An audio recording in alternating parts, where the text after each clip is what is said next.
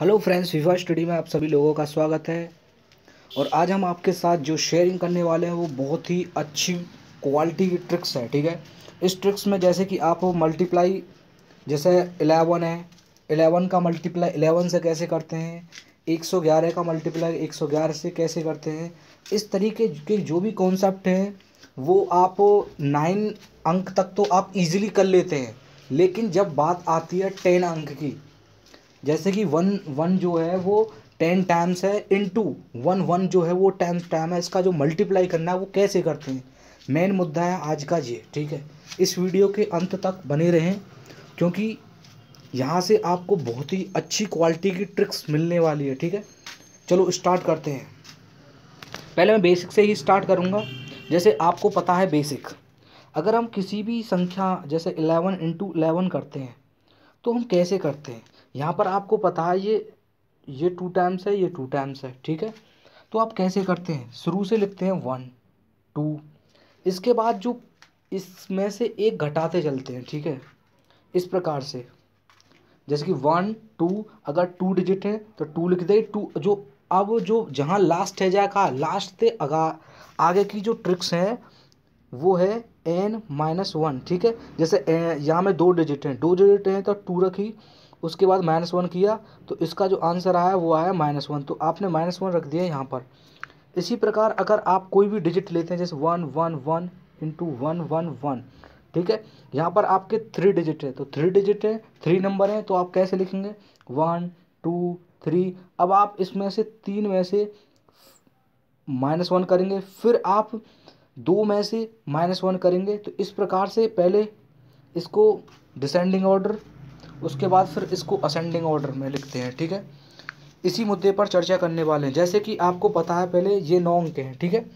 नोंग को हम ईजिली कर सकते हैं। नौंग को मैंने क्या लिखा है? अगर कोई भी संख्या नोंग की होती है तो one, two, three, four, five, six, seven, eight, nine. Nine के बाद इस संख्या को मैं eight, seven, six, five, four, three, two, यहाँ तक तो नाइन तक तो हर कोई कर लेता है। लेकिन जो मुद्दा आता है वो टेन डिजिट का आता है, ठीक है?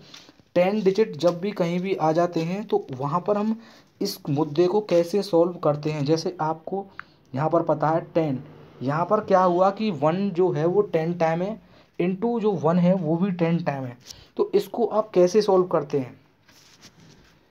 इसको सॉल्व करने का जो तरीका है, वो ये तरीका है, पहले हम इसको पीछे से लिखते हैं। ठीक है? पीछे से लिखते हैं one two three four five six seven eight nine nine तक मैं ईजिली पीछे से लिखता हूँ। इसके बाद जब मैं टेन करता हूँ तो यहाँ पर ज़ीरो बन जाता है।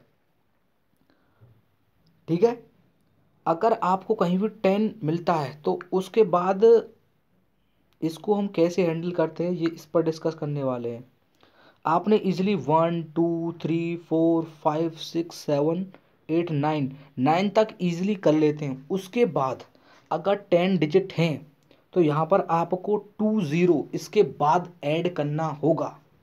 उसके बाद यहाँ पर तीन अंक आपको ध्यान रखने हैं। एक तो ज़ीरो एक ज़ीरो फिर एट की जगह यहाँ पर नाइन यूज़ होता है। एट की जगह आपका यहाँ नाइन यूज़ होता है। ठीक है फ्रेंड्स एट की जगह यहाँ पर आपका जो यूज़ होता है, वो नाइन यूज़ होता है कैरी लेने के बाद, ठीक है?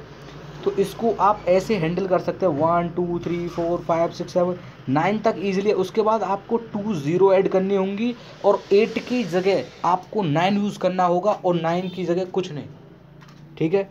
तो इस तरीके की ये भी एक ट्रिक एंड टेक्निक है, जो I P S P U I P S clerk के लिए बहुत ही मोस्ट इम्पोर्टेंट ट्रिक साबित होने वाली है। ठीक है friends thank you bye bye धन्यवाद टाटा।